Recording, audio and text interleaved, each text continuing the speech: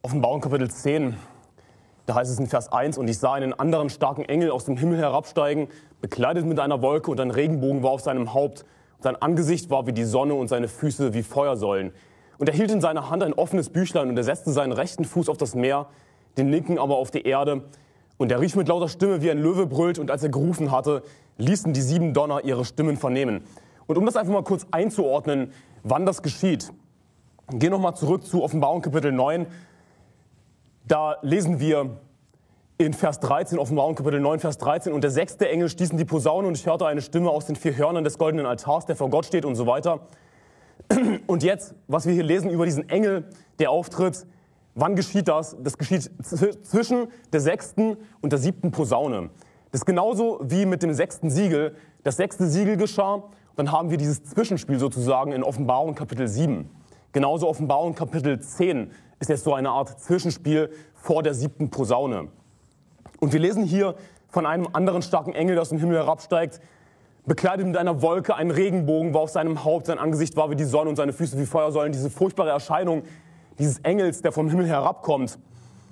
Er hielt ein, in seiner Hand ein offenes Büchlein, Offenbarung 10, Vers 2, und er setzte seinen rechten Fuß auf das Meer, den linken auf die Erde.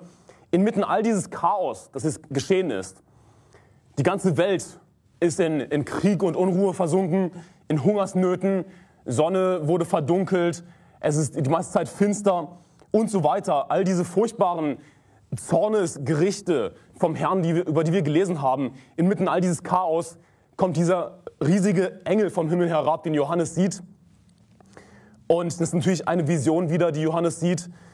Und dieser Engel setzt seinen rechten Fuß auf das Meer, den linken aber auf die Erde. Und er rief mit lauter Stimme, wie ein Löwe brüllt. Und als er gerufen hatte, ließen die sieben Donner ihre Stimmen vernehmen. Und als die sieben Donner ihre Stimmen hatten vernehmen lassen, wollte ich schreiben. Da hörte ich eine Stimme aus dem Himmel, die zu mir sprach, versiegle, was die sieben, was, was die sieben Donner geredet haben und schreibe diese Dinge nicht auf. Und das ist etwas merkwürdig, was wir hier lesen, dass in der Offenbarung, die dazu dient, uns zu offenbaren, die Wahrheit über die Endzeit, dass wir hier lesen, dass Johannes etwas nicht aufschreiben sollte, dass er etwas versiegeln sollte, was diese sieben Donner gesagt haben. Nun, wer sind die sieben Donner? Keine Ahnung. Die Bibel sagt uns das nicht. Also du kannst nicht von mir als Prediger erwarten, dass ich dir etwas offenbare, was Gott uns selbst nicht offenbart. Das Einzige, was ich dir predigen kann, ist, was Gott mir offenbart hat, was der Heilige Geist auch dir offenbaren kann. Ich kann dir nichts anderes sagen, nur das, was Gott uns offenbart. Also, wie schon in einer vorherigen Predigt gesagt, genau genommen bräuchtest du mich nicht, um die Bibel zu verstehen. Ich bin nicht hier, dass du die Bibel überhaupt verstehst, sondern dass du sie besser verstehst, um dir zu helfen, die Offenbarung besser zu verstehen. Da hörte ich eine Stimme aus dem Himmel, Vers 4, die zu mir sprach, versiegle, was die sieben Donner geredet haben und schreibe diese Dinge nicht auf. Du schlägst schon mal Kapitel, Daniel Kapitel 12 auf. Daniel Kapitel 12. Du fragst ja, was haben denn die Donner gesagt? Okay, wir wissen nicht, wer die Donner sind, aber was haben die denn gesagt? Wir wollen das wissen. Nun, suche nicht nach außerbiblischen Offenbarungen. Nimm das an, was die Bibel uns offenbart. Und die Bibel offenbart uns nicht, was die sieben Donner gesagt haben. Johannes hat es gehört, Johannes wurde es offenbart, aber er sollte es nicht schreiben. Er sollte es versiegeln, nicht wahr? Wir sollten niemals irgendwie nach außerbiblischen zusätzlichen Offenbarungen suchen, neben der Bibel, wie zum Beispiel dem Buch Henoch. Das Buch Henoch, das ist natürlich einfach nur ein Fake. Ja? Henoch wird zitiert in der Bibel, im Judasbrief, dass äh, auch Henoch, der siebte nach Adam, geweissagt hat, der Herr ist gekommen mit seinen heiligen Zehntausenden, um Gericht zu halten über alle und alle Gottlosen, unter ihnen zu strafen wegen all der gottlosen Taten, die sie begangen haben, wegen all der harten Worte, die Gottlose sind, dagegen ihn geredet haben oder so ähnlich. Henoch wird zitiert in der Bibel, aber es gibt kein Buch Henoch. Es gab natürlich einen Henoch, der siebte nach Adam, der entrückt wurde, nicht wahr? Aber es gibt kein Buch Henoch. Nun, was der Teufel logischerweise macht, ist, hier ist ein Buch Henoch für dich. Weil Leute dann suchen werden nach dem Zitat, oh, wo kann man das Zitat finden? Du kannst es nicht finden. das gibt es nicht irgendwo aufgeschrieben, außer im Judasbrief. Komm klar damit. Oder andere Möglichkeit, es gab vielleicht mal ein Buch Henoch, aber das war halt nicht Gottes Wort, also hat Gott es nicht bewahrt. Und dann musst du halt irgendwas Komisches ausgraben. Was dann sowieso natürlich über die Jahre höchstwahrscheinlich verfälscht wurde. Wie auch immer, egal welches Buch außerhalb der Bibel, das irgendwie den Anspruch hat, eine heilige Schrift zu sein, ist vom Teufel. Das Buch Henoch, das sogenannte, ist vom Teufel. Es gibt Menschen, die geben sich nicht damit zufrieden, mit dem, was Gott uns gegeben hat in der Bibel, was schon dumm genug ist. Was macht der Teufel? Hier hast du ein Buch Henoch. Hier hast du Apokryphen. Oder hier irgendein bescheuertes Buch, ich glaube, das ist auch eins von Apokryphen, wo von Riesen äh, die Rede ist, die mehrere Stockwerke groß sind, so ungefähr. Aber es gibt Leute, die fallen darauf rein. Es gibt auch Leute, die auf den Koran reinfallen. Es gibt auch Leute, die auf die Bhagavad Gita reinfallen. Es gibt Leute, die auf, auf den katholischen Katechismus reinfallen. Es gibt Leute, die fallen auf Star Wars rein und glauben an Science Fiction, dass es wirklich Aliens gibt. Es gibt alles. Leute fallen auf jeden Schwachsinn rein. Aber sei du zufrieden mit der Bibel, mit dem, was Gott dir offenbart hat. Ich meine, können wir nicht zufrieden sein mit, mit Gottes perfektem Wort? können wir nicht mit Jesus zufrieden sein?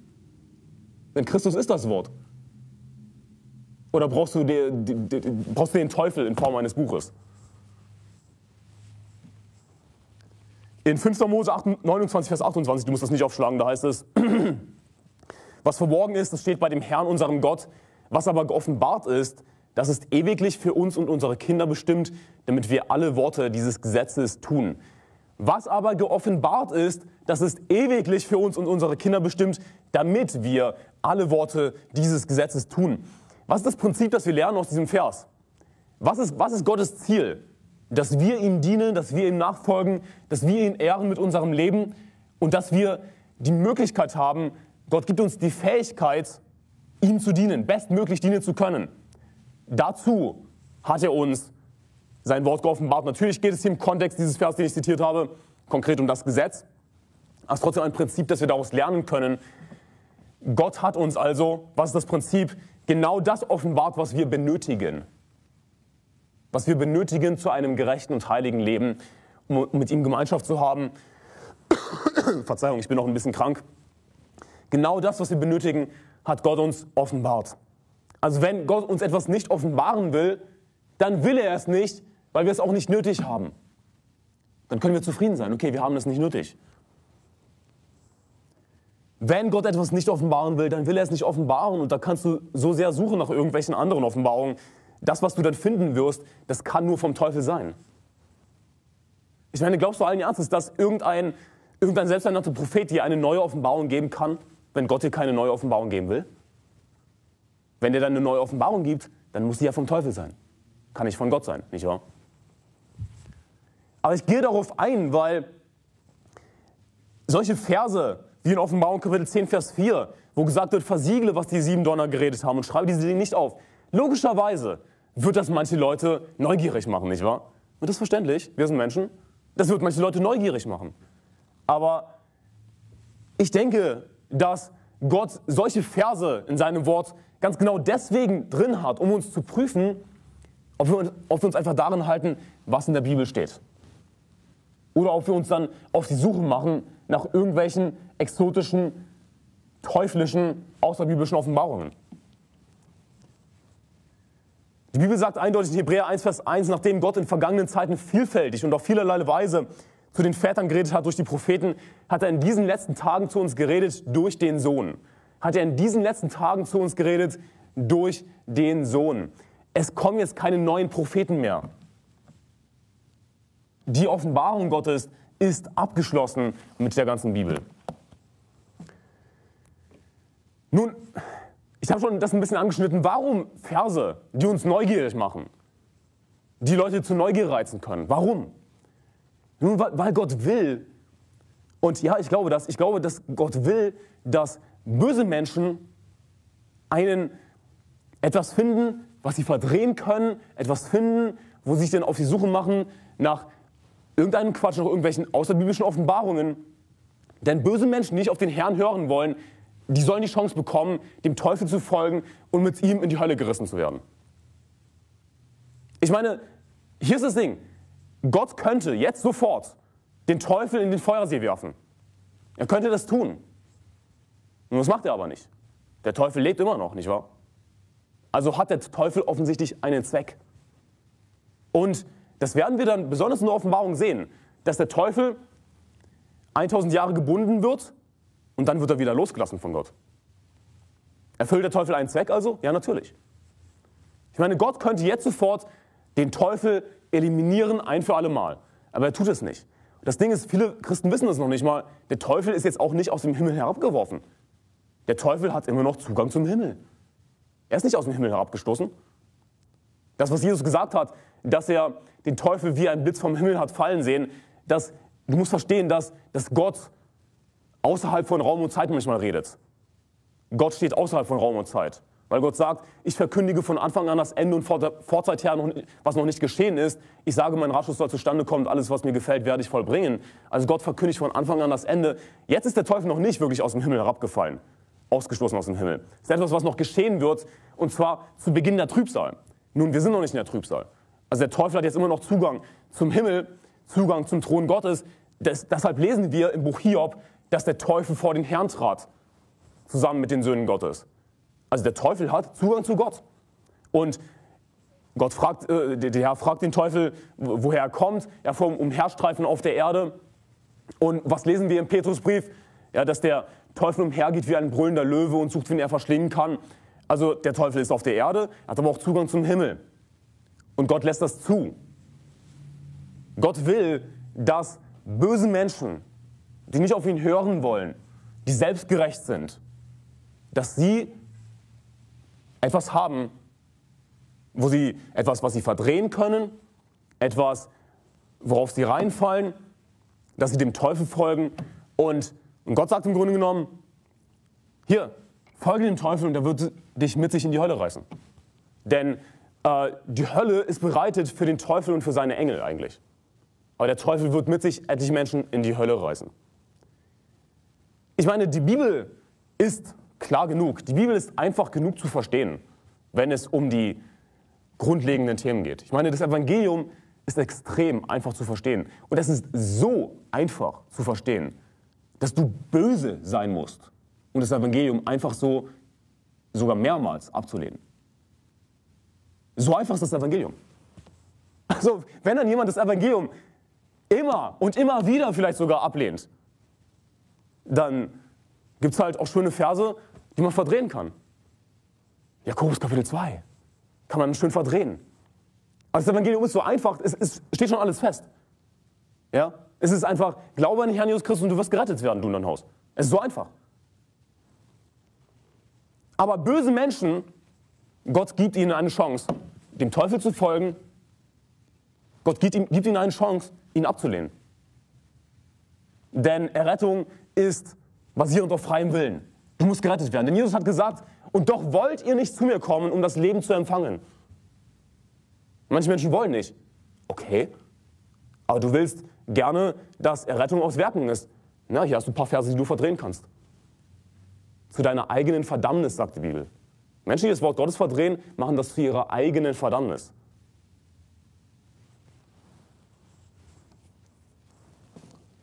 Und es ist nicht so, dass, dass Gott will, dass Menschen irgendwie auf eine falsche Fährte gelockt werden. Verstehe mich nicht falsch.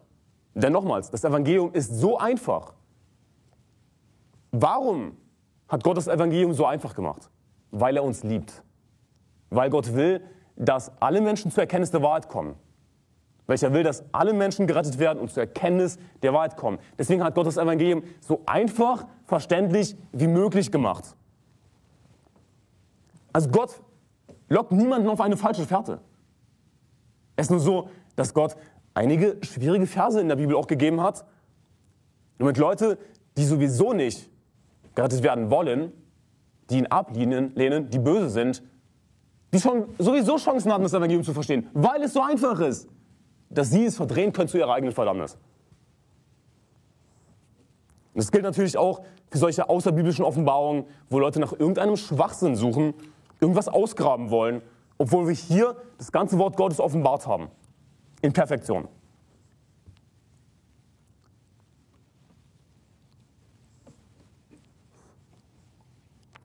Der Teufel erfüllt einen Zweck, böse Menschen mit sich in die Hölle zu reißen. Und Gott lässt das zu. Gott gibt jedem eine Chance. Du bist in Daniel Kapitel 12. Daniel Kapitel 12, Vers 1. Da heißt es, zu jener Zeit wird sich der große Fürst Michael erheben, der für die Kinder deines Volkes einsteht.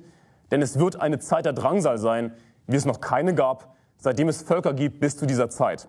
Aber zu jener Zeit wird ein Volk gerettet werden, jeder, der sich in dem Buch eingeschrieben findet. Ich werde dir dann erklären, warum wir jetzt Daniel Kapitel 12 lesen. Es wird noch Sinn ergeben. Was lesen wir hier? Es wird eine Zeit der Drangsal sein. Ja? Es geht hier um die Trübsal, die hier vorausgesagt wird in Daniel Kapitel 12. Wie es noch keine gab, seitdem es Völker gibt, bis zu dieser Zeit.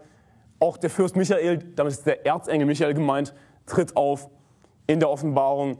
Äh, er kämpft gegen den Teufel und so weiter. Der Teufel wird hinabgeworfen, aus dem Himmel ausgestoßen. Es geht hier eindeutig um die Trübsal. Aber zu jener Zeit wird ein Volk gerettet werden, jeder, der das im Buch eingeschrieben findet, Vers 2. Und viele von denen, die im Staub der Erde schlafen, werden aufwachen, die einen zum ewigen Leben, die anderen zur ewigen Schmach und Schande. Und die Verständigen werden leuchten wie der Glanz der Himmelsausdehnung und die, welche die viel zur Gerechtigkeit weisen, wie die Sterne immer und ewiglich. Und jetzt Vers 4, achte darauf, du aber Daniel, verschließe diese Worte und versiegle das Buch bis zur Zeit des Endes. Viele werden darin forschen und die Erkenntnis wird zunehmen. Spring runter zu Vers 8. Das hörte ich, verstand es aber nicht. Darum fragte ich, mein Herr, was wird das Ende von diesen Dingen sein? Sogar Daniel hat es nicht verstanden, was diese Offenbarung, die er bekommen hat, bedeutet. Also wenn du manches nicht verstehst, auch in dieser Predigt, dann bist du nicht allein. Okay? Aber natürlich kannst du zurückgehen und du solltest dann zurückgehen, meine vorherigen Predigten schauen. Logischerweise versteht man nicht alles auf Anhieb. Die Offenbarung ist natürlich ein komplexes Buch, aber sie dient dazu, dass uns eben die Wahrheit offenbart wird über die Endzeit. Also sie ist nicht irgendwie extra kompliziert geschrieben, sondern es ist einfach nur ein äh, sehr detailliertes Thema. All, äh, all die zeitlichen Abläufe und so weiter ist natürlich schwer alles auf einmal aufzunehmen, logischerweise.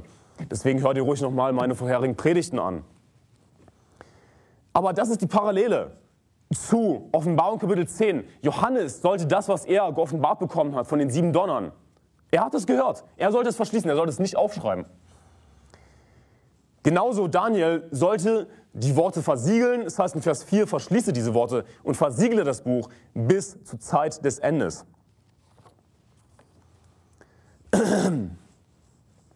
Beide, also Johannes und Daniel, haben Offenbarungen erhalten, die zum einen zu Daniels Lebzeiten verborgen waren, zum anderen jetzt noch verborgen sind.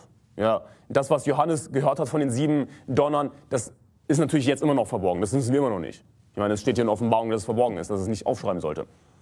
Das, was Daniel erhalten hat für eine Offenbarung über die Trübsal, was, was wir eindeutig gelesen haben, eigentlich sehr leicht zu verstehen, besonders im Licht des Neuen Testaments, dass die Trübsal damit gemeint ist. Wir sehen die Parallelen dann in der Offenbarung mit dem Erzengel Michael und so weiter.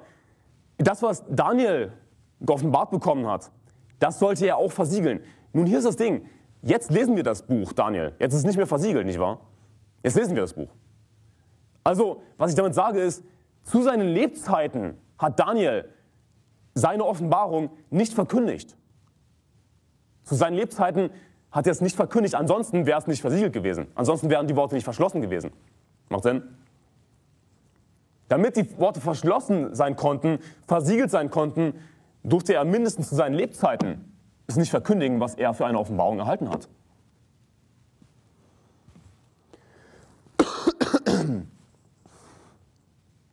Wenn wir Vers 4, schau dir Daniel Kapitel 12, Vers 4 an. Wenn wir Vers 4 so nehmen, wie es da steht, ja, dann bedeutet das eben, dass er zu seinen Lebzeiten die Offenbarung nicht, also die Offenbarung, die er erhalten hat, nicht verkündigt hat. Aber jetzt lesen wir in Daniel, also erst nach seinen Lebzeiten wurde es geoffenbart. Wurde äh, das, was Daniel als äh, Offenbarung erhalten hat, verkündigt. Aber worum es hier auch geht, und das ist der eigentlich wichtigere Punkt, zu Daniels Lebzeiten oder auch nach seinen Zeiten, äh, zu Zeiten des Alten Testaments, war das nicht zu 100% zu verstehen, die Offenbarung, die er erhalten hat. Es war nicht zu 100% zu verstehen. Er selbst hat gesagt, ein großer Prophet wie Daniel, das hörte ich, verstand es aber nicht, darum fragte ich, mein Herr, was wird das Ende von diesen Dingen sein? Er hat es nicht verstanden. Ja? Die Offenbarung, die er selbst bekommen hat, hat er nicht verstanden. Es war damals noch verschlossen, noch versiegelt. Die Menschen konnten es nicht wirklich verstehen. Was bedeuten diese Offenbarungen, die Daniel empfangen hat? Aber jetzt können wir es verstehen im Licht des Neuen Testaments, im Licht der Offenbarung, nicht wahr? Jetzt können wir es viel besser verstehen. Jetzt tatsächlich zum Teil ziemlich einfach zu verstehen. Ich meine, wenn wir hier lesen, Daniel Kapitel 12, Vers 1, zu jener Zeit wird sich der große Fürst Michael erheben, der für die Kinder deines Volkes einsteht. Es wird eine der Drangsal sein, wie es noch keine gab. Ah, Drangsal, ja, wir reden von der Trübsal. Wir wissen sofort, worum es geht eigentlich. Lass dir ein Lesezeichen Daniel Kapitel 12, Lesezeichen Daniel Kapitel 12 und geh zu Offenbarung Kapitel 22.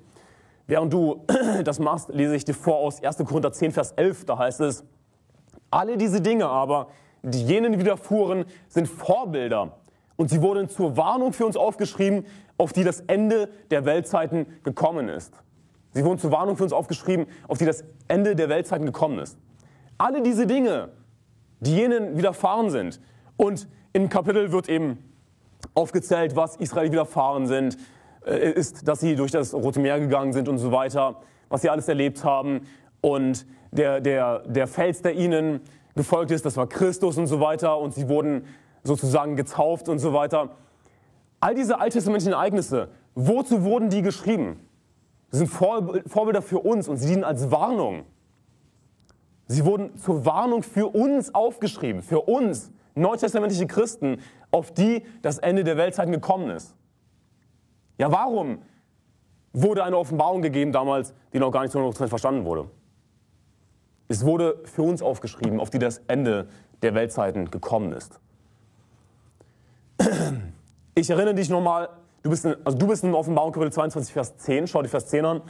Ich erinnere dich nochmal an Daniel 12, Vers 4. Du aber, Daniel, verschließe diese Worte und versiegle das Buch bis zur Zeit des Endes.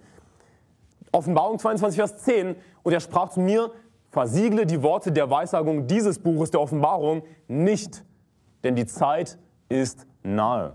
Daniel wurde noch gesagt, er sollte verschließen und versiegeln bis zur Zeit des Endes. Jetzt heißt es, versiegle die Worte der Weissagung dieses Buches nicht, denn die Zeit ist nahe. Das heißt, jetzt ist die richtige Zeit, dass wir mehr Wissen bekommen, dass wir es offenbart bekommen und jetzt Daniel wirklich komplett verstehen können. Jetzt wirklich zu 100 Prozent den Propheten Daniel verstehen können. Natürlich könnte man sagen, ja, okay, nicht zu 100 Prozent, denn man kann immer noch irgendwas Neues lernen aus der Bibel. Es gibt immer noch weitere Schichten wahrscheinlich. Aber wir verstehen jetzt durch die Offenbarung, durch das Neue Testament, den Propheten Daniel. Jetzt ist geoffenbart und jetzt, jetzt wird nicht mehr versiegelt. Ja. Und das ist auch natürlich wieder in einem wortwörtlichen Sinne gemeint. Die Offenbarung, die sollte nicht irgendwie versteckt gehalten werden. Die sollte nicht versiegelt bleiben. Sondern was hat Johannes gemacht? Er hat an die sieben Gemeinden in Asia geschrieben. Nach Ephesus, nach Smyrna, nach Pergos und nach Tyra und nach und nach Philadelphia und nach Laodicea. Also er hat es zu seinen Lebzeiten geschrieben in Briefen an die Gemeinden. Also deshalb nicht versiegeln, nicht verschließen. Jetzt ist die richtige Zeit, dass alles klar und deutlich offenbar wird. Und dadurch, dass wir die Offenbarung haben, können wir jetzt eben auch verstehen, was Daniel geschrieben hat. Nicht wahr? Offenbarung Kapitel 10, Vers 5. Offenbarung Kapitel 10, Vers 5. Da heißt es, und der Engel, den ich auf dem Meer und auf der Erde stehen sah, erhob seine Hand zum Himmel und schwor bei dem, der lebt von Ewigkeit zu Ewigkeit, der den Himmel geschaffen hat und was darin ist, und die Erde und was darauf ist, und das Meer und was darin ist, es wird keine Zeit mehr sein, sondern in den Tagen der Stimme des siebten Engels, wenn er in die Posaune stoßen wird, soll das Geheimnis Gottes vollendet werden, wie er es seinen Knechten, den Propheten als Heilsbotschaft verkündet hat. Daniel Kapitel 12, Vers 5, du hast dort ein Lesezeichen drin. Wir schauen uns jetzt eine Parallele an. Es gibt etliche Parallelen zwischen Offenbarung Kapitel 10 und Daniel Kapitel 12. Du gehst zu Offenbarung Kapitel, Verzeihung, zu Daniel Kapitel 12, Vers 5. Daniel Kapitel 12, Vers 5. Und ich, Daniel, schaute und siehe, da standen zwei andere da. Der eine an diesem Ufer des Flusses, der andere am jenseitigen Ufer des Flusses. Wir haben hier also zwei Engel, zwei Botschafter. Wir haben in der Offenbarung 10 nur einen Engel, aber was die sagen, das ist sehr ähnlich, das wirst du gleich sehen. Und einer sprach zu dem in Leinen gekleideten Mann, der oberhalb des Wassers, der Wasser des Flusses stand. Wie lange wird es dauern, bis diese unerhörten Zustände zu Ende sind? Vers 7, da hörte ich den in Leinen gekleideten Mann, der oberhalb der Wasser des Flusses war, wie er seine rechte und seine linke zum Himmel erhob und bei dem schwor, der ewig lebt, eine Zeit, zwei Zeiten und eine halbe Zeit und wenn die Zerschmetterung der Kraft des heiligen Volkes vollendet ist, so wird das alles zu Ende gehen. Bleib in Daniel Kapitel 12, Vers 7. Ich, ich lese dir jetzt nochmal Offenbarung 10, Vers 5 vor als Vergleich, dass du es verstehst. Und der Engel, den ich auf dem Meer und auf der Erde stehen sah, erhob seine Hand zum Himmel, genauso wie in Daniel, und schwor bei dem, der lebt von Ewigkeit zu Ewigkeit, der den Himmel geschaffen hat und was darin ist und die Erde, was, das, was darauf ist und das Meer und was darin ist. Es wird keine Zeit mehr sein. Was lesen wir in Offenbarung Kapitel 10? Der Engel schwört, es wird keine Zeit mehr sein. Was sehen wir hier in, äh, in Daniel Kapitel 12, Vers 5? Er erhob seine rechte und seine linke zum, äh, zum Himmel und schwor bei dem, der ewig lebt, eine Zeiten, zwei Zeiten und eine halbe Zeit. Also, da hieß es noch, eine Zeit, zwei Zeiten und eine halbe Zeit. Dem Kapitel 10, Vers 5 oder Vers 6, es wird keine Zeit mehr sein. Nun, was ist diese eine Zeit, zwei Zeiten eine halbe Zeit? Ich bin schon äh, darauf eingegangen in einer vorherigen Predigt, aber nur noch mal als Erinnerung. Was ist 1 plus 2 plus 1,5? Das ist dreieinhalb. Es geht hier um dreieinhalb Jahre bei diesen äh, eine Zeit, zwei Zeiten und eine halbe Zeit. Dreieinhalb Jahre Trübsal. Ja, wir haben äh, grob eingeteilt dreieinhalb Jahre die Trübsal und dreieinhalb Jahre den Zorn Gottes. Grobe Einteilung. Ich komme dann gleich noch zu einer genaueren Einteilung. Und das war eben die Frage, ja, wie lange werden diese unerhörten Zustände dauern? Was war der Kontext von Daniel Kapitel 12? Die Trübsal. Es geht um die Trübsal, nicht wahr? Wie lange dauert die Trübsal? Wir haben hier eine eindeutige Antwort. Der, dieser in Lein gekleidete Mann, er schwört und sagt, eine Zeit, zwei Zeiten und eine halbe Zeit, so lange wird die Trübsal eben dauern. Aber jetzt in Offenbarung Kapitel 10, Vers 6 heißt es, es wird keine Zeit mehr sein. Und wir sehen dann gleich noch, worauf sich das konkret bezieht. Aber das hilft uns, wieder hier eine konkrete Einordnung zu haben. Es gibt Leute, die wollen die Offenbarung komplett durcheinander lesen. Ein Kapitel findet zeitlich hier statt, das andere dort und ist alles überkreuzt und alles zusammengewürfelt. Aber die Offenbarung hat eine sehr klare Chronologie. Es geht sehr klar äh, 1, 2, 3, 4, 5 und so weiter. Alles ganz klare Punkte, ganz klarer Ablauf. Und äh, es geht wieder los im Grunde genommen bei Offenbarung Kapitel 12. Wird alles wieder auf Null zurückgesetzt und es geht wieder los. Aber es ist ein klarer Ablauf, okay? Und auch, auch hier sehen wir den klaren Ablauf. Also, wenn der Engel hier sagt, es wird keine Zeit mehr sein, sondern, äh, ich muss hier den Vers aufschlagen, wo habe ich mir das aufgeschrieben, sondern in Vers, Vers 7, in den Tagen der Stimme des siebten Engels, wenn er in die Posaune stoßen wird, soll das Geheimnis Gottes vollendet werden und so weiter. Also, wenn jetzt keine Zeit mehr ist, nun dann befinden wir uns hier nach der Trübsal, nach den dreieinhalb Jahren, nach eine Zeit, zwei Zeit und eine halbe Zeit, wenn der Engel sagt, es wird keine Zeit mehr sein. Aber nicht nur das, sondern wir befinden uns auch am Ende des Zornes Gottes. Denn auch der Zorn Gottes geht eine Zeit, zwei Zeiten oder eine halbe Zeit.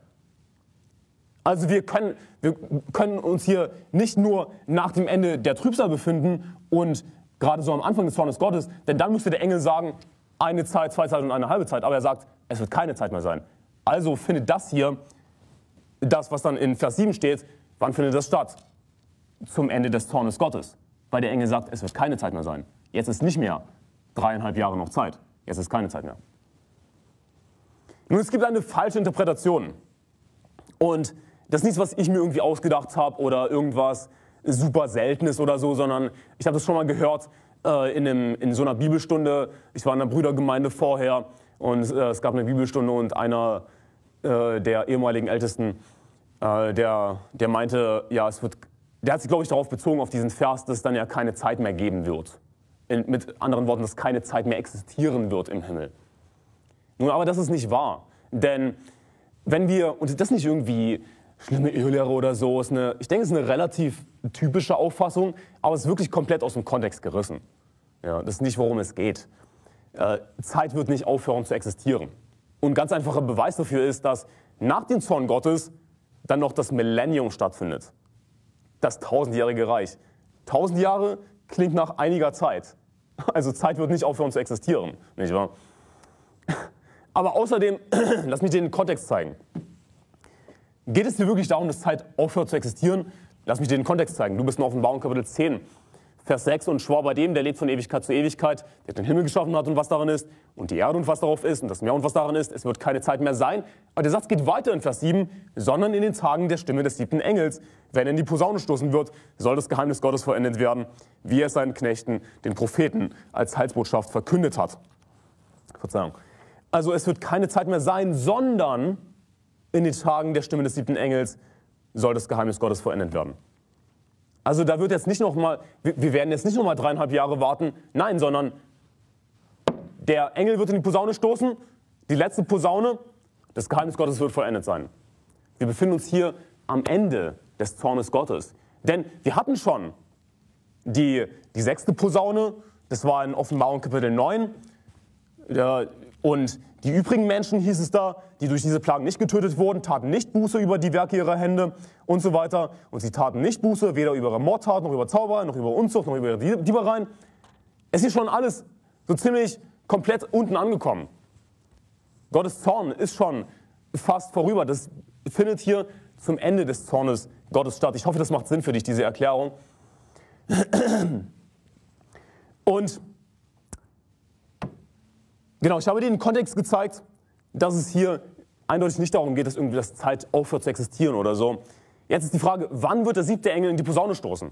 Wann wird das geschehen? Diese Frage möchte ich kurz mit dir klären. Denn es heißt, in den Tagen der Stimme des siebten Engels, wenn er in die Posaune stoßen wird, soll das Geheimnis Gottes vollendet werden. Nun, wir wissen die Antwort schon fast zu 100 Prozent, denn wenn keine Zeit mehr sein wird, nun, dann befinden wir uns hier nach dreieinhalb Jahren Trübsal und am Ende von dreieinhalb Jahren Zorn Gottes.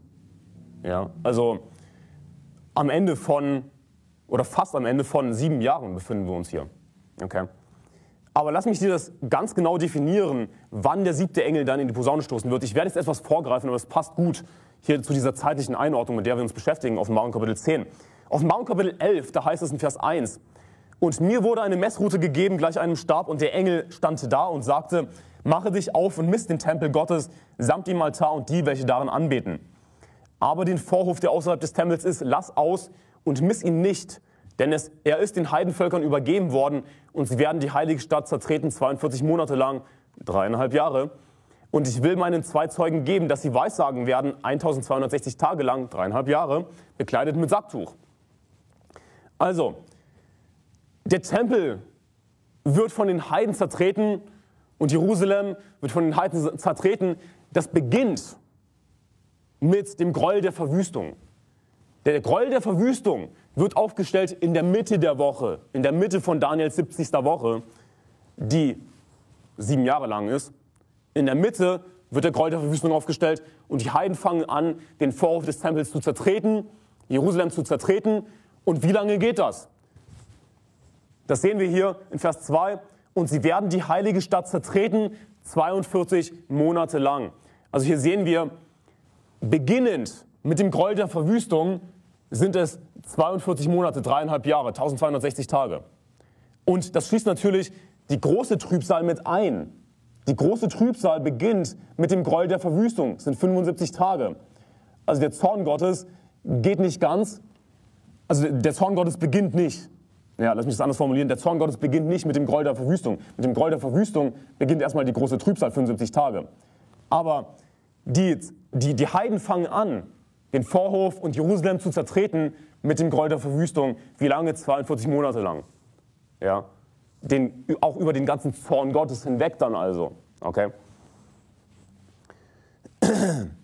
Und genauso lange werden die zwei Zeugen weissagen über den ganzen Zorn Gottes hinweg oder fast den ganzen Zorn Gottes hinweg, dazu kommen wir gleich noch.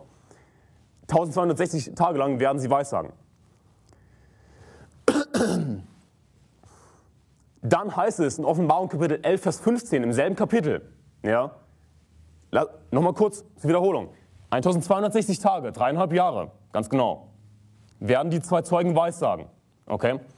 Jetzt Offenbarung Kapitel 11, Vers 15. Und der siebte Engel stieß in die Posaune, der ertönten laute Stimmen im Himmel, die sprachen, die Königreiche der Welt sind unserem Herrn und seinem Christus zuteil geworden und er wird herrschen von Ewigkeit zu Ewigkeit.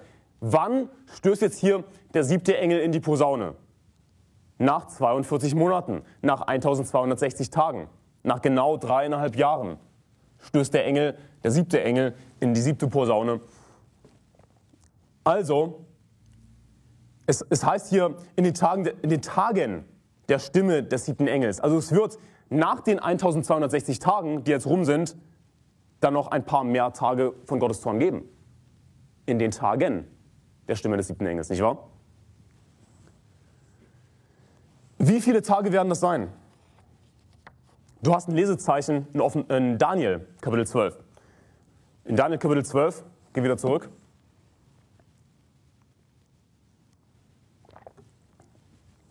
Da ist es in Vers 11. Und von der Zeit an, da das beständige Opfer beseitigt und der Gräuel der Verwüstung aufgestellt wird, sind es 1000, achte darauf, 290 Tage. Okay? Also wir sehen hier zwei Sachen, haben wir gesehen.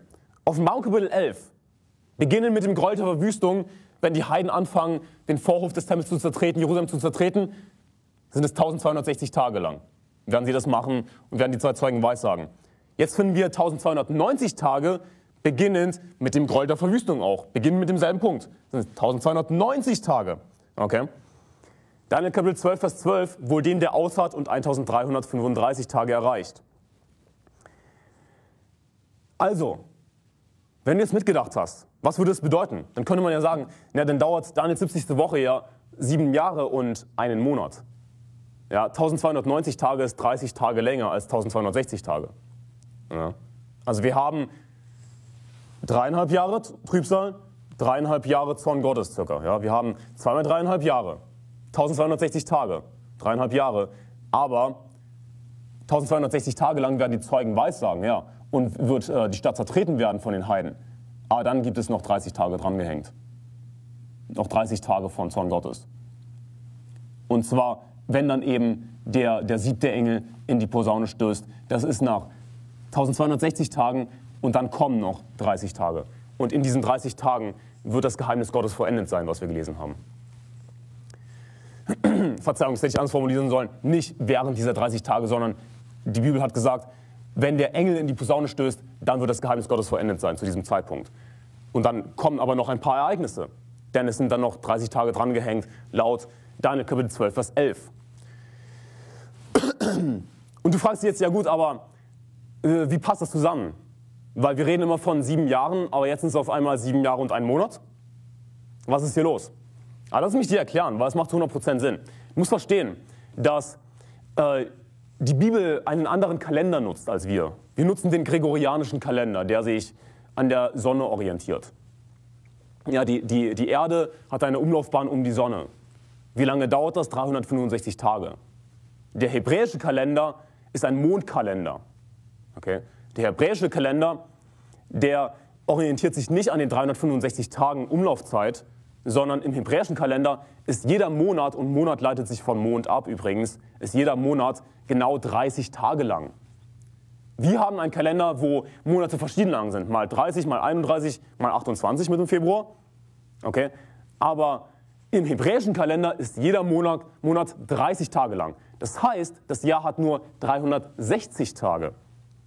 Also wenn wir hier von sieben Jahren sprechen, dann sind das Jahre von 360 Tagen. Was passiert? Der hebräische Kalender ist nicht synchron mit der Umlaufbahn um die Sonne. Und ja, die Erde dreht sich um die Sonne, nicht die Sonne um die Erde. Okay? Äh, es gibt auch manche Leute, genauso wie, wie diese Flacherdler, die wollen es einfach nicht wahrhaben. Die kommen mit bescheuerten Theorien daher, wie dass sich die, die Sonne um die Erde dreht. Aber Nein, es macht auch biblisch zu 100% Sinn, dass die Erde sich um die Sonne dreht, denn die Sonne repräsentiert Jesus Christus. Also alles dreht sich um Jesus Christus. Das ist die Symbolik dahinter. Aber egal. Der hebräische Kalender ist nicht synchron mit den 365 Tagen, die die Erde braucht, um die, Sonne, um, um die Sonne zu laufen, nicht wahr? Also es wird immer eine Differenz geben. Nun, wie groß wird die Differenz sein? Wenn sechs Jahre vergehen, wie viele Tage Differenz wird es geben? Denk mit, sechs Tage, äh, äh, sechs Jahre, Verzeihung, mal fünf Tage, die fehlen im Jahr, im hebräischen Kalender, macht wie viele Tage? 30 Tage, nicht wahr? 6 mal 5 ist 30. Also, nach dem Ablauf von sechs Jahren fehlt dem hebräischen Kalender ein ganzer Monat, um wieder mit der Umlaufbahn um die Sonne synchron zu sein. Verständlich? Also was wird dann gemacht im siebten Jahr? Es wird ein Monat dem Jahr hinzugefügt. Das heißt, der hebräische Kalender hat einen sogenannten, könnte man sagen, Schaltmonat. Es wird im siebten Jahr ein Monat hinzugefügt, 30 Jahre, Ta Tage hinzugefügt, damit wieder der Kalender synchron ist mit der Umlaufbahn um die Sonne. Daher muss Daniels 70. Woche sieben Tage, äh, sieben Jahre und einen Monat lang sein. Nur damit ist es wieder, stimmt es wieder überein. Und wieder, denkt daran, wir reden hier von Jahren, die 360 Tage lang sind. Deswegen muss eben ein Monat hinzugefügt werden im siebten Jahr. Also, 1290 Tage geht dann der, äh, sind 1290 Tage, beginnen mit dem Gräuel der, Ver, der Verwüstung bis zum Ende des Zornes Gottes. Wann stößt der siebte Engel in die Posaune? Nach 1260 Tagen. Und dann kommen eben noch diese 30 Tage, in denen noch einige Sachen passieren. Das sehen wir in den nachfolgenden Kapitel, äh, womit wir uns heute nicht beschäftigen werden.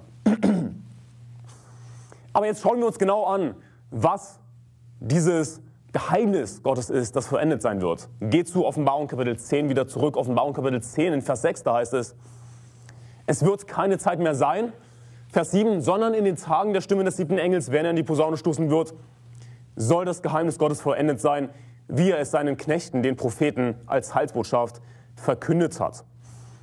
Nun, wir haben in Offenbarung Kapitel 11 gelesen, wenn eben, also in Offenbarung 11 haben wir gelesen, dass der Vorhof und Jerusalem von den Heiden zertreten wird, nicht wahr? Wie lange? 1260. Dann äh, stößt der Engel in die Posaune und dann wird das Ganze vollendet sein. Ja, dann, dann wird Jerusalem zertreten sein, der Vorhof zertreten sein. Schlage Römer Kapitel 11, Vers 25 auf. Römer Kapitel 11, Vers 25.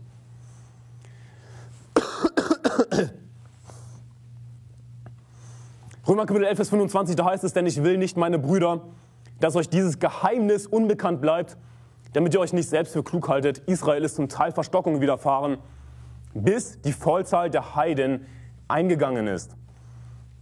Und so wird ganz Israel gerettet werden, wie geschrieben steht. Aus Zion wird der Erlöser kommen und die Gottlosigkeiten von Jakob abwenden. Also was ist das Geheimnis Gottes?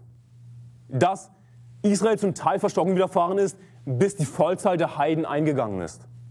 Und genau das haben wir gesehen in Offenbarung Kapitel 11, was wir kurz angeschnitten haben, dass Jerusalem zertreten wird von den Heiden. Sie werden nach Jerusalem kommen, die Heiden, alles zertreten, den, den Vorhof des Tempels zertreten.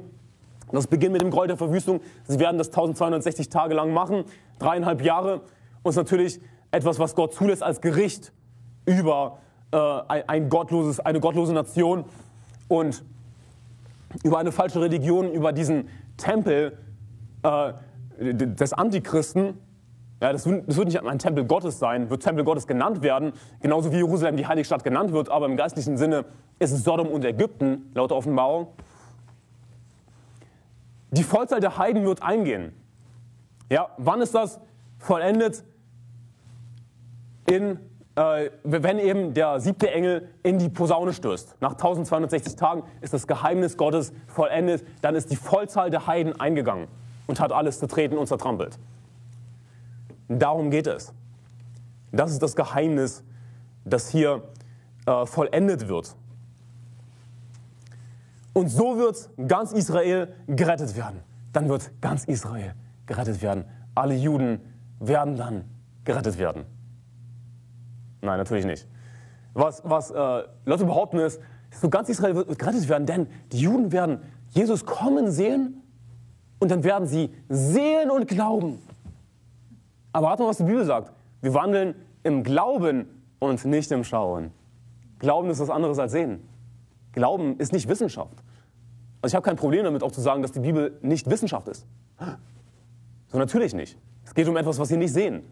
Die Wissenschaft beschäftigt sich damit, was wir sehen, schmecken, hören, fühlen können, was wir mit unseren Sinnesorganen wahrnehmen können. Und was wir äh, in einem Labor auf die Probe stellen können. Es geht um geistliche Dinge, nicht um Wissenschaft. Das macht es nicht weniger wahr. Das wissen wir durch den Heiligen Geist. Aber ist halt nicht Wissenschaft. Aber jetzt mal davon abgesehen, worauf wollte ich eigentlich hinaus? Auch wenn das kein schlechter Punkt war.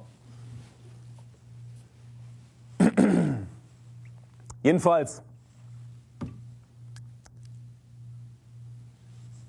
wir haben in äh, Römer Kapitel 11 gelesen, genau. Es geht darum, dass ganz Israel gerettet wird. Nein, ganz Israel wird nicht gerettet werden. Die Juden werden nicht einfach gerettet werden, so wie Leute das auslegen, wenn sie dann Jesus sehen und glauben werden. Dieser, diesen Vers ordnen sie vollkommen falsch ein. Die Vollzeit der Heiden, die wird eingehen oder die wird eingegangen sein, es wird vollendet sein, wann? Zum Ende des Zornes Gottes. Weißt du, was dann geschehen ist? Dass äh, sämtliche Ungläubige, nicht alle natürlich, werden welche überleben, aber weißt du, was da geschieht? Dass sie alle dahingerafft werden. Gläubige sind schon entrückt. Ich meine, ich hoffe, dass vielleicht noch ein Jude oder so gerettet wird zu der Zeit, aber es ist relativ unwahrscheinlich. Weißt du, was da geschehen ist? Die meisten werden da schon ausgerottet sein.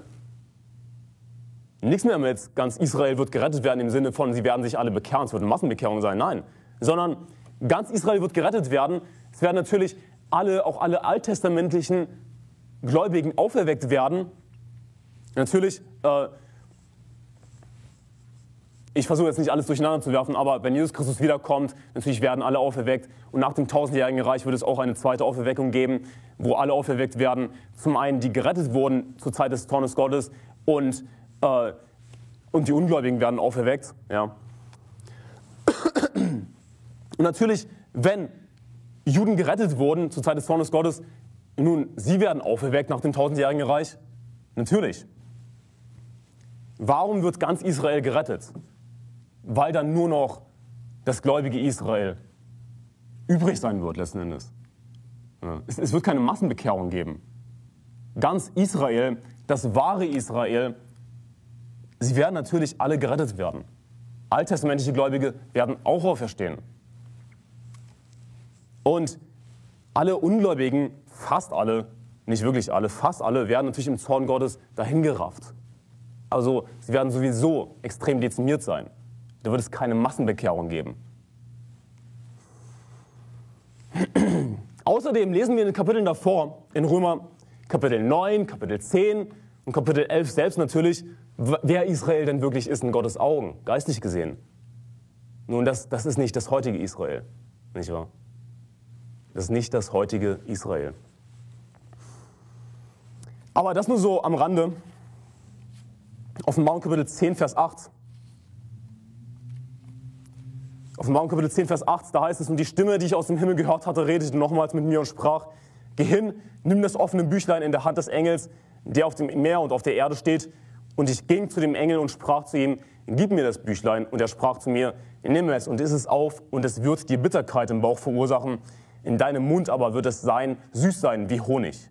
Und ich nahm das Büchlein aus der Hand des Engels und aß es auf, und es war in meinem Mund süß wie Honig.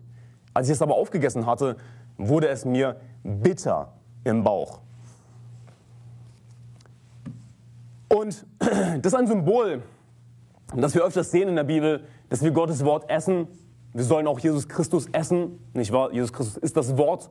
Wir sehen öfters diese Symbolik, Gottes Wort zu essen, in uns aufzunehmen. Und es ist natürlich süß für uns. Gottes Wort ist süß wie Honig für uns. Es ist schön zu lesen. Es ist wunderbar. Es erfüllt uns, nicht wahr? Aber Gottes Wort enthält auch gleichzeitig sehr viel Gericht. Ich meine, besonders jetzt eine Offenbarung, ja. Wir beschäftigen uns mit Gericht die ganze Zeit. So ziemlich. Aber schlag Hesekiel Kapitel 2 auf. Ich möchte dir eine Parallelstelle dazu zeigen. Hesekiel Kapitel 2, Vers 9.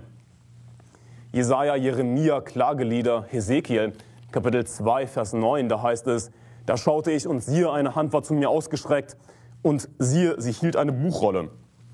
Und er breitete sie vor mir aus, sie war aber auf der Vorderseite und auf der Rückseite beschrieben. Und es waren Klagen, Seufzer und Weherufe darauf geschrieben. Und er sprach zu mir, Menschensohn, ist, was du hier vorfindest, ist diese Rolle und geh hin, rede zum Haus Israel. Da tat ich meinen Mund auf und er gab mir jene Rolle zu essen. Und er sprach zu mir, Menschensohn, speise deinen Bauch und fülle deinen Leib mit dieser Rolle, die ich dir gebe. Da aß ich und es war in meinem Mund so süß wie Honig. Also es war in Hesekiels Mund so süß wie Honig. Aber achte, was überhaupt auf dieser Schriftrolle steht. In Vers 10. Und er breitete sie vor mir aus, sie war aber auf der Vorderseite und auf der Rückseite beschrieben. Es waren Klagen, Seufzer und Weherufe darauf geschrieben. Was ist das für eine Schriftrolle? Was sollte Hesekiel verkündigen? Klagen, Seufzer, Weherufe. Er hatte Negatives zu verkündigen. Sämtliche Propheten des Alten Testaments hatten immer wieder Gericht und Gericht und Gericht zu verkündigen. Und sie hatten viel darunter zu leiden, dass sie zu verkündigen hatten. Aber es war ihnen gleichzeitig süß im Mund, das Wort Gottes. Und so ist auch die Offenbarung. Ist die Offenbarung nicht süß zu lesen? Ist die Offenbarung nicht schön zu lesen? Aber enthält sie auch viel Furchtbares? Gericht, Klagen, Seufze, Weherufe? Extrem viel. Mehr als was die Propheten des Alten Testaments verkünden mussten. Die Offenbarung ist noch extremer. Und so ist das, dass für uns Gottes Wort süß ist. Aber Gottes Wort enthält so viel Gericht, so viel Negatives. Die Bibel ist ein sehr negatives Buch. Die Bibel ist ein sehr negatives Buch. Ein Großteil der Bibel ist negativ. Ich meine, es ist auch sehr negativ darüber nachzudenken, dass die meisten Menschen zur Hölle fahren. Es ist sehr negativ darüber nachzudenken, dass dass äh, die Pforte weit ist, der Weg breit, der zum Verderben führt und viele sind es, die da hineingehen, denn die Pforte ist eng und der Weg ist schmal, der zum Leben führt und wenige sind es, die ihn finden. Das ist negativ. Das ist nicht schön, darüber nachzudenken. Aber natürlich, wenn wir die Bibel lesen, ist es trotzdem irgendwie positiv für uns, weil es für uns halt süß ist, weil es für uns Gottes Wort ist. Nicht wahr? Wir finden es trotzdem schön.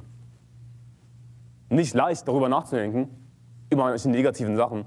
Aber es ist trotzdem Gottes Wort, es ist trotzdem schön, es ist trotzdem faszinierend. Wir haben trotzdem Gemeinschaft mit dem Herrn. Oder ich meine, gerade durch das Wort Gottes, hallo, haben wir Gemeinschaft mit dem Herrn. Und moderne Christen heutzutage, sie, sie wollen nur das Süße. Sie wollen nur das Süße, nur das Liebliche und wollen aber Gericht weglassen. Nun, hier ist das Ding. Sie betrügen sich selbst. Wenn sie Klagen, Seufzer und Weherufe weglassen, haben sie dann überhaupt wirklich das ganze Wort Gottes? Konsumieren sie dann das ganze Wort Gottes? Nein. Also dann haben sie ja gar nichts Süßes in ihrem Mund. Sie betrügen sich ja selbst.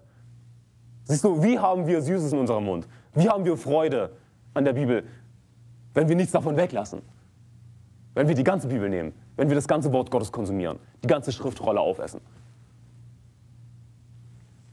Und ja, dann wird es manchmal ein bisschen bitter im Bauch von all dem Gericht, nicht wahr?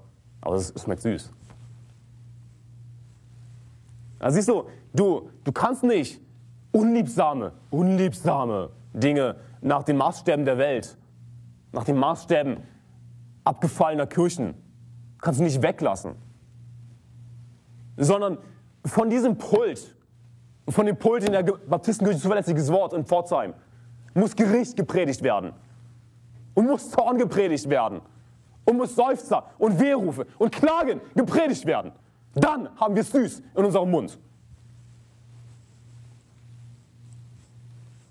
Süß und schön für uns, Gottes Wort zu lesen, darüber nachzudenken, es gepredigt zu hören. Offenbarung Kapitel 10, Vers 11, wir kommen zu dem letzten Vers. Offenbarung Kapitel 10, Vers 11, da heißt es, und er sprach zu mir, du sollst nochmals weissagen, über viele Völker und Nationen und Sprachen und Könige.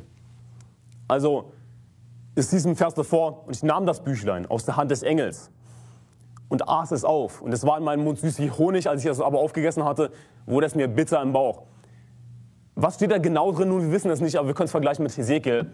Natürlich, es geht um Gottes Wort. Es enthält viel Gericht und so weiter. Also, jetzt wird gesagt zu Johannes, du sollst nochmal weissagen. Was soll er weissagen? Gericht wahrscheinlich. Gericht, Klagen, Seufzer, Wehrrufe. Du sollst nochmal weissagen über viele Völker und Nationen und Sprachen und Könige. Nun, wir wissen nicht genau, ähm, wann, wie, wo Johannes das gemacht hat, aber ich denke, was interessant ist aus diesem Vers, was wir lernen können, Gott hat das Ende zwar vorausgesagt, Gott sagt hier alles voraus in der Offenbarung, wie alles ablaufen wird. Es sagt sehr klar offenbart, sehr detailliert offenbart. Aber das heißt nicht, dass sowieso alles vorherbestimmt ist und sowieso Gott alles entschieden hat, dass das genau dann geschehen wird. Nein. Gott weiß, wann es geschehen wird. Es ist nicht einfach so, dass Gott alles festgelegt hat und jetzt ist alles egal, weil sowieso Gott alles vorherbestimmt hat. Dieser Vers zeigt uns, nein, es ist nicht egal, sondern du sollst nochmals weissagen. Es gibt noch Arbeit für dich zu tun. Nur weil du jetzt die Offenbarung bekommen hast und weißt, was am Ende geschehen wird. Das heißt nicht, dass jetzt alles außen vorbei ist und alles egal ist und alles Depri ist und wir jetzt einfach aufhören, weil es geht ja sowieso alles den Bach runter. Nein, sondern du sollst nochmals weiß sagen. Und das ist die Haltung, die wir haben sollten. Wir befinden uns jetzt noch im Prozess. Nur weil Gott weiß, was geschieht, heißt es nicht, dass wir uns nicht im Prozess befinden der Geschehnisse. Und dass wir nicht etwas beeinflussen können. Und wir können sehr wohl etwas beeinflussen, natürlich. Gott weiß, wann alles zu Ende sein wird. Aber rate mal was. Genauso wie Gott weiß, welche Menschen gerettet werden. Guck mal, wenn wir jetzt die Chance haben, jemanden zu retten und wir erklären das Evangelium nicht, was sagt die Bibel? Wenn aber unser Evangelium verborgen ist, so ist es bei denen verborgen, die verloren gehen. Nur weil Gott weiß, wie viele Menschen gerettet werden, heißt das nicht, dass einfach bestimmt ist, wer gerettet wird. Wenn wir jemandem nicht die Chance geben, es kann sein, dass dieser Mensch deshalb nicht gerettet wird. Das heißt nicht, dass er dann aus dem Schneider ist und dass nur wir einfach schuldig sind. Natürlich nicht, weil jeder Mensch hat selbst die Verantwortung, auf das Licht zu reagieren, das er von Gott bekommt, logischerweise. Aber was ich damit sagen will, ist, wir befinden uns noch im Prozess. Es werden Menschen gerettet. Und letzten Endes werden eben so viele Menschen gerettet, wie Menschen gerettet werden. Gott weiß es natürlich. Also nicht so, dass Gott sagt, du wirst gerettet, du wirst nicht gerettet. Nein. Sondern noch befinden wir uns im Prozess. Noch befinden wir uns in dem Prozess, dass wir Menschen retten und so weiter. Noch läuft die Zeit. Noch können wir Weissagen. Noch können wir als Christen Dinge erreichen. Wir werden natürlich niemals die Welt komplett auf den Kopf stellen, aber die Trübsal hat noch nicht begonnen zum Beispiel. Und wer weiß, vielleicht können wir, wenn wir als Lichter in dieser gottlosen Welt scheinen, in diesem verkehrten Geschlecht wandeln, wenn wir Lichter sind und das Wort predigen und Menschen retten, vielleicht können wir dann noch ein bisschen die Trübsal hinausschieben sozusagen. Denn warum ist Gott langmütig. Gott zögert nicht einfach so die Verheißung hinaus. Es ist nicht so, dass, dass Gott einfach alles hinauszögern will, nein, sondern Gott ist langmütig, damit jeder Raum zu Buße habe. Und wir sollten die Zeit natürlich nutzen. Offenbarung Kapitel 10. Ich hoffe, diese Predigt hat dir geholfen, die Abläufe besser zu verstehen den hebräischen Kalender ein bisschen besser zu verstehen, warum es 1290 Tage sind. Ich hoffe, äh, es hat dir geholfen, ein bisschen besser diese Dinge einzuordnen, zu verstehen, was das Geheimnis ist, das vollendet wird, dass dann eben die Vollzahl der Heiden eingeht und Jerusalem endgültig zertreten ist von den Heiden, der Hof endgültig zertreten ist. Und lass uns beten. Herr, wir danken dir für diesen Morgen. Ja, wir danken dir für den Seelengewinn-Marathon. Und Herr, ich danke dir, dass wir eine Kirche in Pforzheim haben, Herr. Und Herr, ich bitte dich, hilf uns, dort viele Menschen zu retten. Herr, ich danke dir für dein Wort. Danke für Offenbarung Kapitel 10. Ich danke dir für die Offenbarung, die wir haben, Herr. Und hilf uns, zufrieden zu sein, Herr. Danke, dass wir dein Wort haben, dass wir das perfekte Wort Gottes haben. Wir haben allen Grund, glücklich und zufrieden zu sein, Herr, und brauchen keine zusätzlichen Offenbarungen. Und Herr, Gott sei Dank ja, ist die Offenbarung nicht verschlossen, nicht versiegelt, uns alles klar vor Augen. Und Herr, danke, dass wir wissen können, wann etwas geschehen wird, wenn die Trübsal beginnt. Herr, dann und äh, spätestens, wenn wir den Antichristen auftreten sehen, wir, wir wissen, wann dann etwas passiert und sind nicht einfach vor den Kopf gestoßen, sind nicht hilflos, Herr.